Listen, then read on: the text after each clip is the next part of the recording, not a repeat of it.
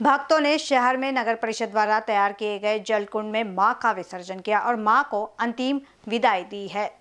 हिंगनघाट शहर में कोरोना प्रादुर्भाव के कारण सरकार द्वारा निर्धारित नियमों का पालन करते हुए शहर में सार्वजनिक मंडलों ने कोरोना की खबरदारी को देखते हुए सादेपन से माँ की विभिन्न मूर्तियों की स्थापना की।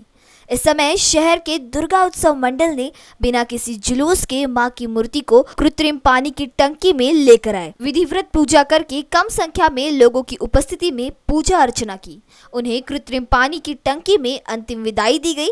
इस वक्त यहाँ लोगों की भीड़ न हो, इसलिए पुलिस का बंदोबस्त तैनात किया गया था। हिंगनघाट से रवि नोरकर की रिपोर्ट इन न्यूज़, नागपुर।